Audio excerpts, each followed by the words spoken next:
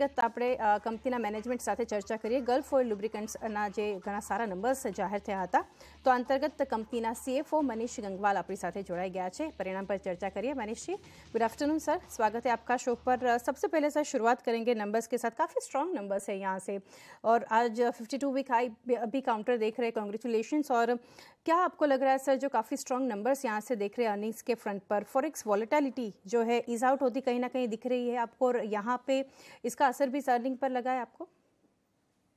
धन्यवाद, पहली बात मुझे शो पे आमंत्रण करने के लिए। और आपने जैसा एकदम सही कहा कि नंबर बहुत अच्छे हैं। हमारे लिए क्वार्टर वन बहुत अच्छा गया और 15 परसेंट रेवेन्यू ग्रोथ जो हमने करी, वो एक मैं बोलूँगा वॉल्यूम ग्रोथ प्रीमियमनेस जो हमने बिल्ड करी है उसका और ओवरऑल एक प्रोडक्ट मिक्स का, तीनों का मिला जुला एक जो हम रिज़ल्ट देख रहे हैं पंद्रह परसेंट रेवेन्यू ग्रोथ में। और तेईस परसेंट जो इंक्रीज हुआ है हमारा प्रॉफिट आफ्टर टैक्स वो भी अपने आप में एक रिकॉर्ड लेवल पे हमने 68 करोड़ का प्रॉफिट आफ्टर टैक्स किया है। तो जहाँ पे फॉरेक्स का इम्पैक्ट भी है, जो कि पॉजिटिव रहा अप्रैल, जून क्वार्टर में, और ओवरऑल जो बिज़नेस ग्रोथ हुई है उसका एक सारा मिला जुला हम जो एक बोलते हैं, बोल सकते हैं कि एक रिफ्लेक्शन जो आया है, वो रिज़ल्ट में आया है। जी डेफिनेटली तो मनीष सर, इससे क्या हम ये समझे कि हायर ब्रांड इन्वेस्टमेंट्स जो है आगे चलकर हमको दिखेगी brand assets during IPL season कुछ इसके ऊपर आप कमेंट्स करना चाहेंगे? हाँ तो आप जैसे देखेंगे कि हमारा जो सिक्वेंशियल ग्रॉस मार्जिन है वो करीब दो परसेंट इम्प्रूव हुआ है on quarter on quarter basis पे। तो मार्च क्वार्टर से दो परसेंट की हमने अपना इम्प्रूवमेंट किया है ग्रॉस मार्जिन पे। पर जहाँ तक आप ईबिटा मार्जिन देखेंगे तो उसमें आपको आधा परसेंट का इम्प्रूवमेंट दिखेगा।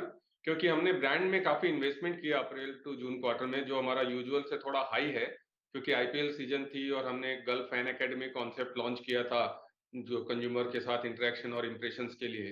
तो वो काफ़ी सक्सेसफुल एक बड़ा कैंपेन था। तो उसके चलते हमारे ब्रांड में इन्वेस्टमेंट्स कोविड के बाद हमने वापस से पुराने लेवल पे ले गए जो हम प्री कोविड करते थे। तो ऑब्वियसली एक ब्रांड का वापस से एक ट्रैक्शन जो है, वो हमको आगे आने वाले क्वार्टर्स में और नज़र आएगा। ओके okay, तो सेगमेंट वाइज भी का, काफ़ी एक इम्प्रूवमेंट है B to B infra segment ओ का कहाँ कितना सपोर्ट आप ये सेगमेंट वाइज भी देख रहे हैं इस अर्निंग्स के ऊपर? तो हमारे बी टू बी सेगमेंट्स तो डबल डिजिट ग्रोथ किए हैं in terms of volume also और उसके साथ में हमारे को काफ़ी हेल्प मिला इंफ्रास्ट्रक्चर सेगमेंट से। और थोड़ा सा हम जो बोलेंगे कि कमज़ोरी हमको एग्री सीज़न में दिखी। एग्री रिलेटेड जो प्रोडक्ट्स हैं उसमें और ओ e की जो फ़र्स्ट फील जो होती है फैक्ट्री फील जिसको हम बोलते हैं उसमें थोड़ी सी कमी थी इस क्वार्टर में पर बाकी सारे सेगमेंट्स ने हमारे काफ़ी अच्छा ग्रोथ किया। जी। मनीष सर मार्जिन की आपने जैसे बात की है तो मार्जिन मार्जिन मैनेजमेंट एक्शन क्या कंपनी का रहेगा और क्रूड वॉलेटिलिटी का भी आप कहीं ना कहीं ऐसा देख रहे हैं? तो क्रूड एक काफ़ी स्टेबल रहा है अगर हम अप्रैल टू जून क्वार्टर की बात करें और अब पिछले चार पाँच दिन से जो हम क्रूड में थोड़ा मूवमेंट देख रहे हैं हमारा ये मानना है कि जो हमारा की रॉ मेटेरियल है बेस ऑयल वो क्रूड का एक डेरिवेटिव है, लेकिन उस पर जो इफ़ेक्ट आता है, वो दो से तीन महीने के बाद आता है। तो कहीं ना कहीं अगर क्रूड यहाँ पे ये स्टेबल होता है, इस रेंज में जो हम बोलते हैं टिपिकली 75 डॉलर से 85 डॉलर्स के बीच में तो हमें ज़्यादा कुछ प्राइस एक्शन या मार्जिन मैनेजमेंट की ज़रूरत नहीं पड़ेगी। और अगर उसके ऊपर जाता है और वहाँ पे सस्टेन होता है तो हमें प्राइसिंग एक्शंस लेने पड़ेंगे। पर अभी के हिसाब से हमें नहीं लगता कि हमें और प्राइसिंग एक्शन की ज़रूरत है और हमारा मार्जिन मैनेजमेंट काफ़ी रोबस्ट है। जी और सर लास्टली जानना चाहेंगे ईवीज के फ्रंट पर कैसे अपॉर्चुनिटीज़ आप आगे शेपअप देख रहे हैं? तो ईवीज का जहाँ तक हमने अनाउंस भी किया है कि हमारे पास अब आज के दिन शायद सबसे ज़्यादा ईवी रिलेटेड ओईएम्स को हम कैटर कर रहे हैं ईवी फ्लूइड्स के लिए। और सात ईवी ओईएम्स हमारे साथ जुड़ चुके हैं ऑलरेडी हालाँकि अभी इसका वॉल्यूम एक बहुत कम रहेगा, क्योंकि आप ऑन रोड देखेंगे तो नंबर ऑफ़ व्हीकल्स जो ईवी व्हीकल्स है, बहुत कम है। पर जैसे जैसे ये थोड़े बढ़ेंगे तो हमारा इस सेक्टर में ट्रैक्शन आएगा।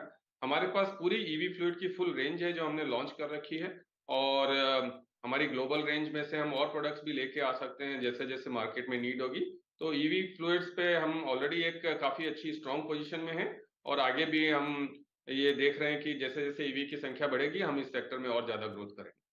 जी, और सर लास्टली और एक चीज़ मैं जानना चाहूँगी मार्केट शेयर गेन के लिए एक स्ट्रेटजी यहाँ से कंपनी की क्या बनती दिख रही है? तो जैसा कि आप हमारे रिकॉर्ड्स देखेंगे तो पिछले 10 साल में हमने मार्केट से दो से तीन गुना से ज़्यादा ग्रोथ करी है वॉल्यूम में और हमेशा मार्केट शेयर गेन किया है। तो हमारा एक हमेशा ऑब्जेक्टिव रहता है कि हम मार्केट से दो से तीन गुना ज़्यादा ग्रोथ करें। और रिसेंटली एक हमने एक इवेंट में भी सपोर्ट किया था, जो क्लाइंट करके ग्लोबल कंपनी है, जो लुब्रिकेंट मार्केट को ट्रैक करती है ग्लोबली एक कंसल्टेंट फॉर्म है। उन्होंने एक प्रेजेंटेशन किया इंडिया पेपर पे इंडिया मार्केट पे, और वो लोग भी बोल रहे हैं कि अगले दस साल तक इंडिया में लुब्रिकेंट मार्केट बढ़ने वाला है। भले एवी का पेनिट्रेशन थोड़ा होगा, लेकिन उसके बावजूद लुब्रिकेंट मार्केट बढ़ेगा। और पाँच से छः परसेंट की वैल्यू ग्रोथ वो लोग देख रहे हैं अगले दस साल में सी ए जी आर बेसिस पे। और हम उससे दो से तीन गुना हमेशा डिलीवर करते आए हैं। और वही हमारा एम है कि हम आगे भी मार्केट से दो से तीन गुना ग्रोथ डिलीवर करें फुल ईयर बेसिस पे। जी डेफिनेटली मनीष सर काफ़ी डिटेल्स आपने यहाँ से हमारे साथ शेयर की है। थैंक यू सो मच जुड़ने के लिए best wishes for coming quarter धन्यवाद।